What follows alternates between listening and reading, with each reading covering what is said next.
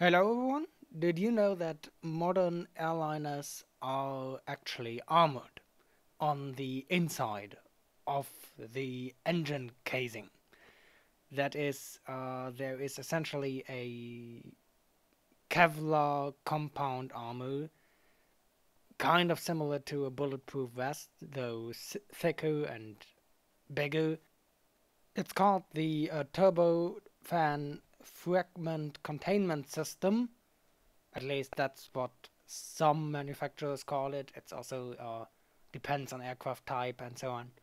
Uh, much of uh, my knowledge is uh, kind of not Airbus specific, but I, I know it more precisely about Airbus aircraft because I uh, study aerospace engineering in Germany, and so it makes sense for professors to use uh, images, for example, of Airbus aircraft for examples because it's a European company. I also know somewhat about Boeing aircraft, but they're a bit more distant. Anyway, uh, it's the uh, turbofan fragment containment system is essentially a uh, Kevlar compound and it's meant to stop fragments of the turbofan or turbojet in case of a potential engine failure from uh, hitting other crucial parts of the aircraft. Now, of course, it's it doesn't necessarily stop everything. A turbofan or a, the turbojet, especially the turbofan, the fan part is actually not that critical. The uh, turbojet, the turbine is really, really fast moving. So it's really, really difficult to stop anything flying out of it in case of a failure. But smaller fragments or slower moving fragments can be stopped. Uh, in some cases, there are only really small fragments then in some cases of failure, there are bigger, fast-moving fragments that can't be stopped, but at least the uh, bigger field of uh, smaller fragments can still be stopped. And uh, even if the bigger fragment uh, leaves the engine, that's still some good done.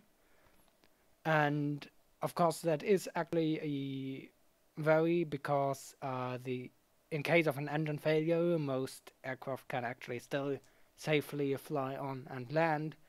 But of course, if uh, fragments of the engine hit some other important part of the aircraft, that might be much, much, much more dangerous than just an engine failure. And uh, the turbojet, both the compressor, but more, even more the turbine part of the turbojet, really is at its operating at its very limit of of uh, this integration.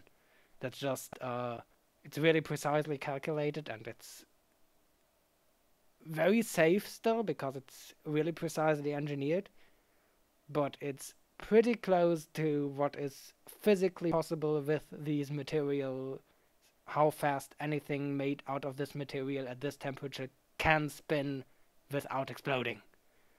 So uh, there is some risk that in case of an engine failure, a uh, compressor or even more likely a turbine disk might uh, fragment and essentially leave the engine pretty much uh, without slowing down because it's really fast. So uh, even puncturing through a an aluminium made engine casing won't significantly slow it down but at least the Kevlar structure might slow it down a little bit. There has also been a bit of hypothetical talk about uh, actually specially designing that uh, containment system or basically armor to uh, change the path of fragments. So even if you can't exactly slow them down much or stop them, since it's a Kevlar compound armor and uh, fiber compounds are still uh, in improvement and there's a lot of really cool stuff you can do with it, there are ideas about designing that armor specifically so that uh, fragments that are that happen to be traveling in the direction of really really critical aircraft systems aren't exactly stopped if that's impossible with the thickness of armor but rather slightly changed in their path so they don't hit critical aircraft systems. Uh, but that is really complicated, especially since uh, fragments can pretty much leave the engine in different directions, not necessarily uh, vertical to the uh, aircraft to the engine casing. So that's quite a complicated task to design the compound layout to uh, change the path of uh, possible fragments.